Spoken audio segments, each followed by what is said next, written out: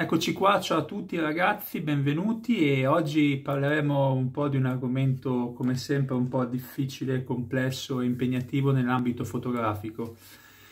Modelle e fotografia, barra fotografi. Allora, parliamo un attimino di questo ambiente che è uno degli ambienti del settore fotografico in Italia più usato, anche se la fotografia a modelle è molto molto molto nota e frequente anche in tutto il Regno Unito, in Francia e da qualche anno ha preso molto piede anche in Germania, oltre agli soliti Stati Uniti. Allora, il discorso è un discorso che io oggi voglio intraprendere, un discorso importante, lungo e anche complesso sotto certi punti di vista. Allora, ci sono tante persone che a livello hobbistico o a livello professionale, ovviamente per riviste solitamente, calendari, eccetera, o brand, scattano modelle. Modelle, che cos'è la modella oggi? Allora, tutti, sapete, tutti sapete cos'è una modella, come lavora una modella in teoria, eccetera, eccetera. La distinzione è che ci sono modelle professioniste, modelle amatoriali e semplici modelle che lo fanno per hobby. Il discorso che è un po' più complicato, che spesso una modella professionista si reputa professionista, ma non ha la partita IVA. La partita IVA è un argomento molto molto molto importante che viene citato sempre più spesso perché anche tanti fotografi professionisti hanno partita IVA, però spesso sono più scarsi di fotografi amatori, questi sono i dati che parlano, lo dico io, e viceversa. Gente che vuole fare il professionista si crede in gamba, però non ha la partita IVA, dunque non vive di quello. E anche lì questo nell'ambiente fotografico è un contrasto da ormai almeno vent'anni, se non di più. Io sono nell'ambito del 2009 a livello un po' serio, dunque è un po' più complicato anche parlarne, questo è un pochino il contesto. E per le modelle c'è questa grande distinzione che tante sono professioniste, però appunto non hanno parità IVA. Non è la parità IVA che fa la modella o fa il fotografo, sono altre cose, però per essere giusti nelle regole bisogna sempre essere specifico, sempre essere giusto averla se uno si reputa un professionista e non un amatore. E poi il semiprofessionista in Italia si dice ma non è riconosciuto, dunque evitiamo di usarlo amatore o professionista. Questo è, un contesto, è una concettualità in un contesto che volevo già citare un po' di tempo fa, comunque ok. Poi, punto 2, perché le persone scattano modelle? Allora, prevalentemente si scattano modelle per hobby. Tanti, l'ambito fotografico che scatta modelle che fa guadagnare tanti soldi a queste persone perché tante modelle percepiscono un lauto stipendio no, ma un lauto compenso. Uh, è un ambiente che da anni gira in questo senso, dunque anche lì va interpretato il tutto e va, vanno messi spesso i puntini sulle i, perché ci sono tante persone che in modo infausto, chiamiamole così, pensano certe cose ma non sono quelle. Allora, l'ambiente fotografico a modelle, non il fotomoda che è un'altra cosa, diciamo, è un ambiente, come ho detto, molto impegnativo, molto difficile, dove si vive di invidia, si vive di falsità, si vive anche di omertà e di finta amicizia o finta conciliazione tra persone. Uh, io sono in questo ambito da 12 anni, adesso a febbraio andiamo giù per i 13, dunque diciamo che un po' me ne intendo ho visto di tutto, da grandi professionisti a bravi amatori, a buoni fotografi, a buone modelle, grandi professioniste, a buone amatrici, a personaggi scomodi, a personaggi, mi permetto di dire, abbastanza ironici e sotto certi aspetti anche comici. Comunque, ma non in positivo la fase comica, eh, ovviamente. Comunque questa è un po' la situazione generale che c'è in questo ambiente.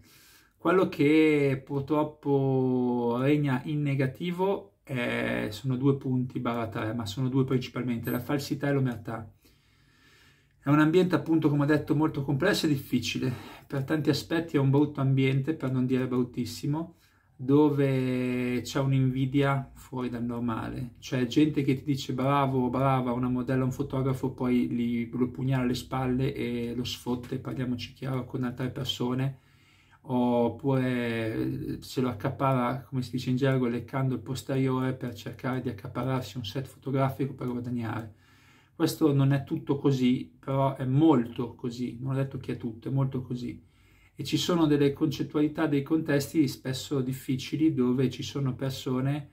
che uh, pensano di essere quello che non sono, pensano di fare quello che non sanno fare o non possono fare.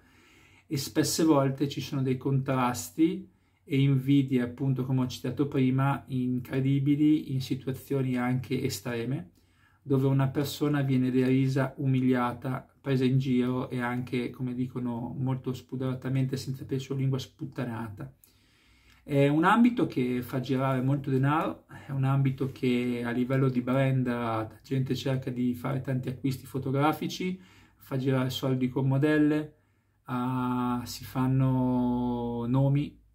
nel senso che c'è gente che è diventata famosa nell'ambito, cioè non sono famosi fotograficamente parlando, poi in questo ambito sono famosi, tipo uno è denominato il maestro del nudo, l'altro è il ritrattista magico, uno è il maestro della luce e così via. Ci sono tante situazioni, la gatta è salita, scusate, ci sono tante situazioni dove ci sono delle situazioni appunto, scusate il gioco di parole, ambigue, nel senso che si creano i mignoli, si creano personaggi, si creano miti. Questo vale anche molto per il discorso modelle, ci sono fotomodelle, specifico fotomodelle, perché la modella da passerella è un ambito diverso che volendo potremmo fare prossimamente un video e parlare di questo. Ma ci sono fotomodelle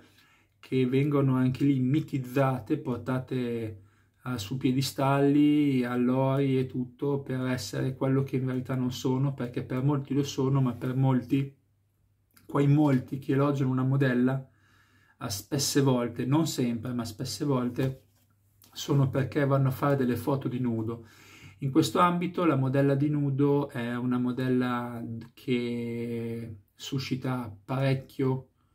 uh, diciamo, interesse perché la gente, i famosi MDF, che non lo traduco, potete intuire, uh, pur di scattare una persona dal vivo nuda, fanno non dico di tutto, ma quasi. È un ambito molto complesso perché le modelle di nudo vengono mitizzate, appunto messe su piedistalli, quando sono semplici modelle che usano, tra virgolette, usano il loro corpo per appunto guadagnare qualche soldo o anche cifre abbastanza buone e fanno questi servizi fotografici che sono sempre i, diciamo, i migliori per i fotografi, tra virgolette fotografi e preferiti e allora si tende a esaltare, mitizzare e portare agli arbori cose, eh, questa ragazza qui è un mito, sa fare tutto. Ultimamente in questo ambito, se diciamo le cose come stanno, perché vige un'omertà spaventosa non da parte mia ma da parte dell'80% delle persone, ci sono stati con questo purtroppo Covid e questi tempi di crisi cambiamenti incredibili. Modelle che cercano di fare soldi in tutti i modi e chiamano tra di loro i loro, eh, tra virgolette, sempre fotografi con cui scattano bancomat. Questo è molto molto grave, rispetto all'etica della persona viene messa in secondo piano e con leccate spaventose del fondoschiena del posteriore arrivano a farsi fare dei set molto ben retribuiti uh, poi creano personaggi, riescono a distruggere altri, uh, portano all'altare, nel senso sempre lato, persone che non meritano tutto ciò perché li fanno dei servizi fotografici e spesse volte il bravo fotografo amatore o il bravo professionista che non paga la modella ma fa il famoso TF che è un servizio gratu- gratuito dove tu, paghi, dove tu non paghi le modelli delle fotografie in cambio di ricompense tu hai il diritto di pubblicazione sempre attraverso una liberatoria perché altra cosa molto importante anche negli amatori che uh, la metà degli amatori, diciamo un 50%, non fa la liberatoria. Questo, a mio avviso, è una cosa molto molto grave anche sotto certi aspetti. La liberatoria va sempre fatta. Credetemi che almeno la metà delle persone non fa liberatoria, non segue certi protocolli seri sotto certi aspetti e questo è un pochino un grosso punto debole e un grosso male in questo ambiente. E è un ambiente così, un ambiente difficile dove appunto ci sono invidie, omertà, falsità, uh, dove tante persone pensano di essere quello che non sono, dove tante persone vengono elogiate, dove tante persone si fanno un nome e dove tante persone appunto sono qualcuno o qualcosa che in un contesto reale non utopistico ovviamente non ci sarebbero. Questo è un po' il tutto. Poi sul professionismo, ragazzi, allora lì stendiamo, apriamo, non stendiamo una, un telone da, da, teatro perché ci sono anche lì grandi professionisti che ovviamente lavorano per riviste, che fanno andare queste fotomodelle su riviste, su giornali. Uh, spesse volte anche lì qualcuno ci gioca dentro, come si dice, va su rivistine che non valgono nulla, però poi di accapararsi la modella e farla pubblicare, uh, che le modelle poi quando si vedono pubblicate, non tutte ma spesso molte, si esaltano e si credono chissà chi, allora le convincono attraverso sotterfugi, nel senso no ma questa è una rivista importante, poi fateci caso, la maggior parte sono tutte riviste estere, piccoli giornaletti statunitensi russi, prevalentemente sudamericani o inglesi, che fanno, hanno una, sì, una piccola editore che fa queste cose con un, diciamo, un cerchio di vendite anche, parlo per editore molto basso, però una può andare in copertina, sono piccole soddisfazioni. Poi di recente si è scoperto che se uno paga queste riviste può andare in copertina, può andare sulla rivista, pagando anche 100-200 dollari, ho letto, dunque alla fine peggio di così si muore, come si dice in gergo. Tante persone non famose che sono andate in, in queste copertine si credono famose, poi alla fine c'è sotto insomma la gabola, come si dice in gergo, dunque anche lì è abbastanza tragicomico il tutto. Qualcuno invece riesce ad andare su riviste serie, qualche fotografo è serio, riesce a fare lavori importanti ben retribuiti, in Italia ce ne sono un po', bravi, capaci, qualcuno lo conosco anch'io, anzi più di qualcuno,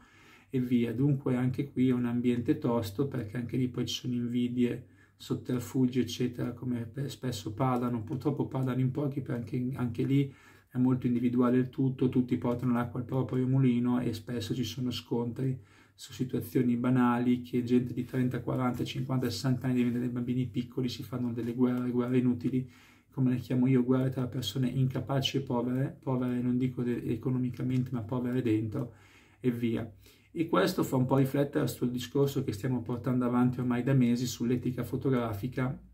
e sulla concettualità di che cos'è la fotografia, la famosa fotografia concettuale che si abbina e parla di etica fotografica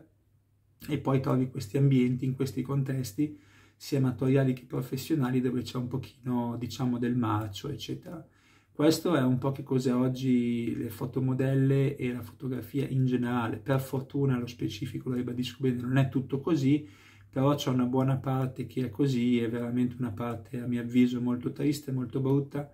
e che non rispecchia che cos'è realmente oggi in un contesto globale italiano, parliamo per non andare fuori dall'Italia che cambia molto il tutto, anche se poi non è pulitissimo neanche fuori, ma comunque ok la fotografia oggi che cosa è diventata. Quando la fotografia è morta, si dice ormai 15-20 anni fa, adesso non è morta, è sotterrata, ha toccato il fondo ma non riesce neanche più a risalire perché è talmente inquinata da cose negative in contesti, in contesti veramente sbagliati ed errati sotto ogni punto di vista che sinceramente stendiamo un velo pietoso e andiamo avanti. Comunque questa è un po' la concettualità. Molte persone non sono d'accordo su quello che dico, ma perché appunto sono i primi che diciamo ci guadagnano e ci sguazzano su questa cosa qui. E le modelle come sempre tantissimo mertà, ognuna porta l'acqua sul mulino zitte, nessuna o quasi nessuna anzi dice le cose come stanno. Questo è tutto, vi saluto e ci vediamo al prossimo video. Se vi è piaciuto mettete like, continuate a seguirmi e proponete anche nuove tipologie di informazione sull'ambito fotografico non solo per cercare di fare quesiti e cose importanti. Ciao a tutti, alla prossima e buona giornata.